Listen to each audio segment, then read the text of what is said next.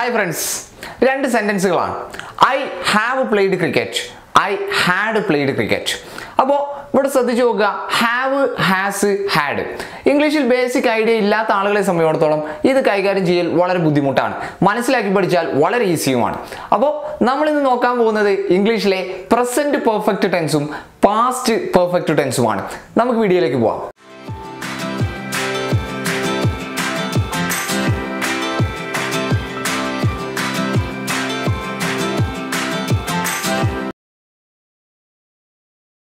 അപ്പോൾ ഫ്രണ്ട്സ് നമുക്ക് present perfect tense നോക്കാം. ഞാനൊരു സെന്റൻസ് എഴുതിയിട്ടുണ്ട്. ഹി ഹാസ് പ്ലേഡ് ക്രിക്കറ്റ് അല്ലെ? നമ്മളെപ്പോഴും ടെൻസ് പഠിക്കുമ്പോൾ അതിന്റെ സ്ട്രക്ചർ പറഞ്ഞിട്ടാണ് പോകാറുള്ളത് അപ്പോൾ നോക്കാം ഇതിന്റെ സ്ട്രക്ചർ എങ്ങനെയാണെന്നുള്ളത്. ഹി ഹാസ് പ്ലേഡ് ക്രിക്കറ്റ് അല്ലെ? അവൻ ക്രിക്കറ്റ് കളിച്ചിട്ടുണ്ട് എന്നുള്ളതാണ്.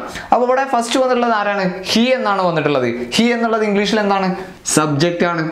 അല്ലെ? പ്രവൃത്തി ചെയ്ത ആളെ നമ്മൾ എന്ത് പറയും? സബ്ജക്റ്റ് എന്ന് പറയും. നെക്സ്റ്റ് വന്നിട്ടുള്ളത് ആരാണ്? ഹാസ് എന്നാണ് വന്നിട്ടുള്ളത്. അല്ലെ? ഹാസ് എന്നാണ് വന്നിട്ടുള്ളത്. ഇവിടെ ഹി എന്നുള്ളത് സിംഗുലർ ആയതുകൊണ്ടാണ് ആര് വന്നിട്ടുള്ളത്? ഹാസ് വന്നിട്ടുള്ളത്. അല്ലെ? അപ്പോൾ ഇവിടെ ദേ പ്ലൂരൽ ആയിരുന്നെങ്കിൽ നമ്മൾ അതിന്റെ കൂടെ ആരെ ചേർക്കൂല? ഹാസ് ചേർക്കൂല. അതിന്റെ കൂടെ ആരെ ചേർക്കുക? ഹാവ് ആണ് ചേർക്കേണ്ടത്. അപ്പൊ ദേ എന്നാണെങ്കിൽ ആര് വരും? ഹാവ് വരും. അപ്പൊ സബ്ജക്റ്റ് വന്നു. തൊട്ടടുത്ത് ഹാസ് വന്നു. ദെൻ ആരും വരാം ഹാവും വരാം. അല്ലെ? പ്ലൂറൽ ആയിരുന്നെങ്കിൽ ആരും വരാം ഹാവ് വരാം. അപ്പൊ subject has or have plus ഇവിടെയാണ് നിങ്ങൾ ശ്രദ്ധിക്കേണ്ടത്.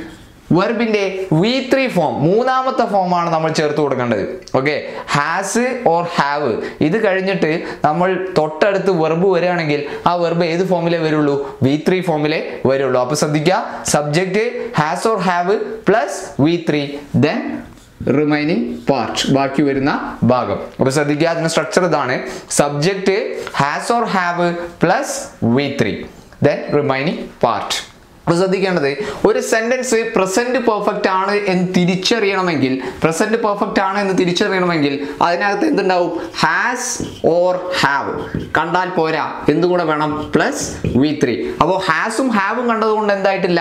പ്രസന്റ് പെർഫെക്റ്റ് ആയിട്ടില്ല. അതിന്റെ കൂടെ വി ത്രീ കൂടെ വരുമ്പോഴേ എന്താവുന്നുള്ളൂ? പ്രസന്റ് പെർഫെക്റ്റ് ടെൻസ് ആവുന്നുള്ളൂ. അപ്പൊ അറിഞ്ഞു വെക്കുക subject has or have plus V three വന്നാലാണ് എന്ത് പ്രസന്റ് പെർഫെക്റ്റ് ടെൻസ് ആവുന്നത്. ഇനി ഇതെങ്ങനെയാണ് എക്സാമിന് ചോദിക്കുക എന്നുള്ളതാണ് നമ്മൾ പറയാൻ പോകുന്നത്. നമുക്ക് നോക്കാം. ഇതെങ്ങനെയാണ് എക്സാമിന് ചോദിക്കുക എന്നുള്ളതാണ് നമ്മൾ നോക്കുന്നത്. ഇമ്മീഡിയറ്റ് പാസ്റ്റ് ആക്ഷൻസ് തൊട്ട് മുന്നേ നടന്ന കാര്യങ്ങൾ. പാസ്റ്റിൽ നടന്ന കാര്യങ്ങൾ ജസ്റ്റ് ബിഫോർ തൊട്ട് മുന്നേ നടന്ന കാര്യങ്ങളാണ് നമ്മൾ എന്തിൽ പറയേണ്ടത്? ഈ പ്രസന്റ് പെർഫെക്റ്റ് ടെൻസിൽ പറയേണ്ടത്. അപ്പോൾ നമുക്ക് നോക്കാം. അതിന് കുറച്ച് കീവേഡ്സ് നമ്മൾ പഠിച്ചു വെച്ചാൽ മതി. ആ കീവേഡ്സ് ആണ് ഒന്ന് റീസെന്റ്ലി റീസെന്റ്ലി അല്ലെങ്കിൽ already already just just just now just now yet and lately lately. ഓ ശ്രദ്ധിക്കുക recently already just just now yet lately ഈ വേർഡ്സ് എല്ലാം നിങ്ങൾ ഒരു സെന്റൻസിനകത്ത് കാണുകയാണെന്നുണ്ടെങ്കിൽ ആ സെന്റൻസിൽ നമ്മൾ എന്താ ഉപയോഗിക്കേണ്ടത്? പ്രസന്റ് പെർഫെക്റ്റ് ടെൻസ് ആണ് ഉപയോഗിക്കേണ്ടത്. ഇതിന് കാലങ്ങളായിട്ട് പറഞ്ഞു പോരുന്ന ഒരു കോഡ് ഉണ്ട്. രാജി രാജി ഡോട്ട് എൽ എന്നാണ് പറയാറുള്ളത്. കോഡ് ഇത് പഠിച്ചു വെച്ചാൽ മതി. രാജി എന്നുള്ളതിൽ ആർ എന്താണ്? Recently a already just just now jail എത്ര ഉണ്ട്? രണ്ടെണ്ണം ഉണ്ട്. Just just now yet and lately അപ്പോൾ ഈ വേർഡ്സുകൾ വന്നാൽ ആ സെന്റൻസിനകത്ത് ആരും ഉപയോഗിക്കുക? പ്രസന്റ് പെർഫെക്റ്റ് ടെൻസിനെ ഉപയോഗിക്കാം നമുക്കൊരു ക്വസ്റ്റ്യൻ നോക്കാം. Recently my father dash a car എന്നാണ് പറഞ്ഞിട്ടുള്ളത്. Recently my father dash a car ഇപ്പോൾ ശ്രദ്ധിക്കുക. ഓപ്ഷൻസ് ആണ്. Buy bought has bought had bought എന്നുള്ളതാണ്. അപ്പോൾ ഇവിടെ ശ്രദ്ധിക്കുക റീസെന്റ്ലി എന്നാണ് പറഞ്ഞിട്ടുള്ളത് അല്ലേ? നമ്മുടെ കീവേഡ് ഏതാണ്? റീസെന്റ്ലി എന്നാണ്. റീസെന്റ്ലി എന്ന് കണ്ടിട്ടുണ്ടെങ്കിൽ നമ്മൾ ഏതാ ഉപയോഗിക്കേണ്ടത്? പ്രസന്റ് പെർഫെക്റ്റ് ടെൻസ് ആണ് അല്ലേ? അപ്പോൾ എ ഓപ്ഷൻ കൊടുത്തിട്ടുള്ള ഏതാണ്? ബൈ എന്നാണ് വി വൺ ഫോം ആണ്. ബോട്ട് എന്ന് മാത്രമാണെങ്കിൽ ഏതാണ്? വി ടു ഫോം ആണ്. ദെൻ നോക്കാം ഹാസ് ബോട്ട് അല്ലേ? പിന്നെ ഏതാണുള്ളത് ഹാഡ് ബോട്ട് പ്രസന്റ് പെർഫെക്റ്റ് ആവണമെന്നുണ്ടെങ്കിൽ എന്ത് വേണമെന്നാണ് ഞാൻ പറഞ്ഞുള്ളത്? Has or have plus V three ഇവിടെ ഫാദർ അല്ലേ ഉള്ളൂ ഫാദർ ഒരാളല്ലേ ഉള്ളൂ. അപ്പോൾ ആരെ ഉപയോഗിക്കേണ്ടത്? ഹാസ് ആണ് ഉപയോഗിക്കേണ്ടത് അപ്പൊ ഇവിടെ ഏതാണ് answer has bought a car has bought a car so simply recently my father has bought a car. എന്റെ ഫാദർ ഈ അടുത്തൊരു കാറ് വാങ്ങിയിട്ടുണ്ട് എന്നാണ് എന്ത് ഇതിന്റെ അർത്ഥം. അപ്പൊ ശ്രദ്ധിക്കുക പറഞ്ഞത് ഒന്നും കൂടെ പറയാണ്. പ്രസന്റ് പെർഫെക്റ്റ് ടെൻസ് ചോദിക്കുന്ന മെയിൻ ആയിട്ടുള്ള കണ്ടീഷൻ ആണ് എന്ത് ഇമ്മീഡിയറ്റ് പാസ്റ്റ് ആക്ഷൻസ് അല്ലെ? തൊട്ടു മുന്നേ നടന്ന പാസ്റ്റ് ആക്ഷൻസ് എല്ലാം നമ്മൾ എന്തിനാണ് പറയേണ്ടത്? പ്രസന്റ് പെർഫെക്റ്റിലാണ് പറയേണ്ടത്. അതിന്റെ കീവേഡ്സ് ആണ് ഇതൊക്കെ.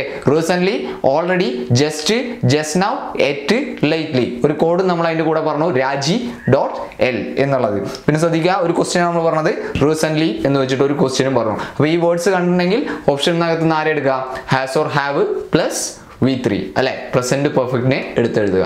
അപ്പോൾ പ്രസന്റ് പെർഫെക്റ്റ് ടെൻസ് ചോദിക്കുന്ന അടുത്തൊരു കണ്ടീഷൻ നോക്കാം. വളരെ ഈസിയാണ് it is the first time അല്ലെങ്കിൽ it is the second time അല്ലെങ്കിൽ this is the third time okay ഇറ്റിന് പകരം ദിസും ആവാം this is the first time അല്ലെങ്കിൽ this is the second time അല്ലെങ്കിൽ this is the third time അതുപോലെ തന്നെ it is the first time it is the second time it is the third time ഒരു sentence start ചെയ്യുന്നത് ഈ ഫോമിലാണെന്നുണ്ടെങ്കിൽ നമ്മൾ അവിടെ ഉപയോഗിക്കേണ്ടത് ആരെയാണ് പ്രസന്റ് പെർഫെക്റ്റ് ടെൻസിനെയാണ് ഉപയോഗിക്കേണ്ടത് അതായത് ഓപ്ഷൻ നാല് എടുത്ത് എഴുതേണ്ടി വരും has or have plus V three എടുത്ത് എഴുതേണ്ടി വരും ശ്രദ്ധിക്കുക it is the first time it is the second time അല്ലെ? This is the first time this is the second time ഇങ്ങനെ സ്റ്റാർട്ട് ചെയ്തിട്ടുണ്ടെങ്കിൽ ആ സെന്റൻസിനകത്ത് ആരും ഉപയോഗിക്കണം? പ്രസന്റ് പെർഫെക്റ്റ് ടെൻസിനെ ഉപയോഗിക്കണം. നമുക്കൊരു എക്സാമ്പിൾ നോക്കാം.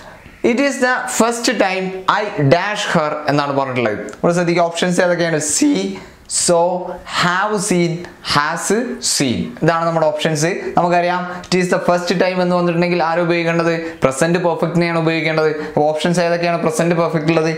ഹാവ് സീനും ഉണ്ട്. ഹാസ് സീനും ഉണ്ട്. അല്ലെ? ഇവിടെ സബ്ജക്റ്റ് ആരാണ്? ഐ എന്നുള്ളതാണ് സബ്ജക്റ്റ് ഐ എന്ന സബ്ജക്റ്റ് സിംഗുലർ ആണെങ്കിലും അതിന്റെ കൂടെ ആരെ ചേർക്കാൻ പാടില്ല? ഹാസ് ചേർക്കാൻ പാടില്ല. അതിന്റെ കൂടെ ആരെ ചേർക്കാൻ പാടുള്ളൂ? ഹാവ് ചേർക്കാൻ പാടുള്ളൂ. ഐ ഹാസ് എന്ന് എവിടെയും പറയൂല. എന്താ പറയുള്ളൂ?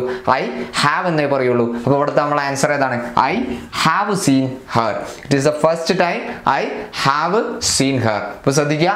പ്രസന്റ് പെർഫെക്റ്റ് ടെൻസിലെ രണ്ടാമത്തെ കണ്ടീഷനാണ് നമ്മൾ പറഞ്ഞത്. It is the first time it is the second time ഇങ്ങനെ കണ്ടിട്ടുണ്ടെങ്കിൽ പ്രസന്റ് പെർഫെക്റ്റ് ഉപയോഗിക്കുക. അപ്പോൾ പ്രസന്റ് പെർഫെക്റ്റ് നമ്മൾ ഡിസ്കസ് ചെയ്ത് കഴിഞ്ഞു. നെക്സ്റ്റ് നമ്മൾ ഡിസ്കസ് ചെയ്യാൻ പോകുന്നത് പാസ്റ്റ് പെർഫെക്റ്റ് ആണ്. നമുക്ക് നോക്കാം. ഹി ഹാഡ് പ്ലേഡ് ക്രിക്കറ്റ് അല്ലേ? ഹി ഹാഡ് പ്ലേഡ് ക്രിക്കറ്റ് നമ്മൾ എപ്പോഴും ടെൻസ് പറയുമ്പോൾ സ്ട്രക്ചർ ആണ് പറയാറുള്ളത്. അപ്പോൾ സ്ട്രക്ചർ നോക്കാം. അവൻ ക്രിക്കറ്റ് കളിച്ചിട്ടുണ്ടായിരുന്നു എന്നാണ് ഇതിന്റെ അർത്ഥം. അവൻ ക്രിക്കറ്റ് കളിച്ചിട്ടുണ്ടായിരുന്നു എന്നാണ് ഇതിന്റെ മീനിങ് വരുന്നത്. അപ്പോൾ ശ്രദ്ധിക്കുക. പ്രവൃത്തി ചെയ്ത ആരാണ്? അവനാണ്. സബ്ജക്റ്റ് ഏതാണ്? ഹി സബ്ജക്റ്റ് ഹി ഇപ്പൊ സബ്ജക്റ്റ് വന്നു. നെക്സ്റ്റ് ആരാണ് വന്നത്? ഹാഡ് അല്ലെ? സബ്ജക്റ്റ് വരിക. തൊട്ടടുത്ത് ഹാഡ് വന്നു. നെക്സ്റ്റ് നേരത്തെ പറഞ്ഞ പോലെ തന്നെ.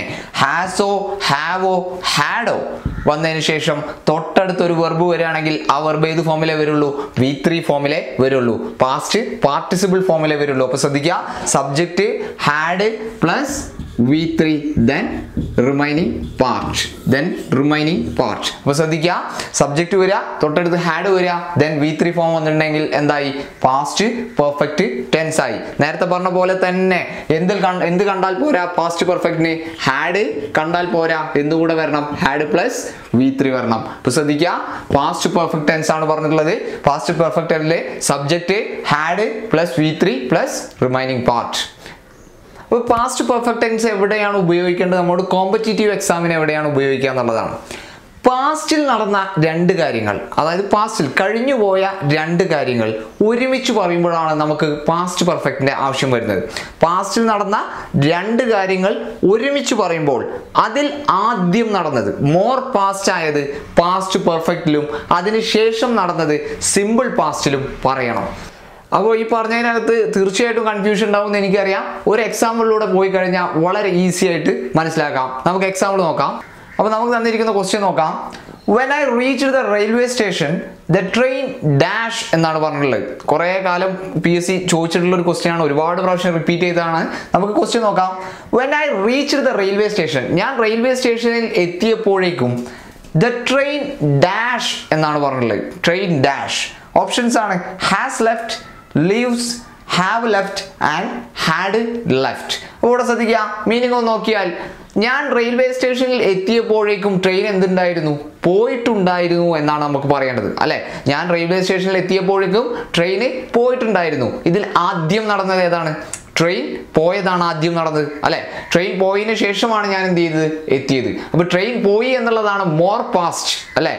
അതിനുശേഷമാണ് എന്ത് ചെയ്തത്? ഞാൻ എത്തിയത്. അതാണ് രണ്ടാമത്തെ പാസ്റ്റ് അവിടെ ശ്രദ്ധിക്കുമ്പോൾ when I reach the railway station ഞാൻ റെയിൽവേ സ്റ്റേഷനിൽ എത്തിയപ്പോൾ ഇവിടെ എന്ത് പറഞ്ഞിട്ടുണ്ട്? സിമ്പിൾ പാസ്റ്റിൽ പറഞ്ഞിട്ടുണ്ട്. റീച്ച്ഡ് എന്നുള്ള സിമ്പിൾ പാസ്റ്റിൽ പറഞ്ഞിട്ടുണ്ട്. ദെൻ ദ ട്രെയിൻ ഡാഷ് അതെന്തിൽ പറയണം? പാസ്റ്റ് പെർഫെക്റ്റിൽ പറയണം. പാസ്റ്റ് പെർഫെക്റ്റിൽ പറയണം എന്ന് പറഞ്ഞാൽ ഹാഡ് പ്ലസ് വി ത്രീയിൽ പറയണം. അപ്പൊ ശ്രദ്ധിക്കുക.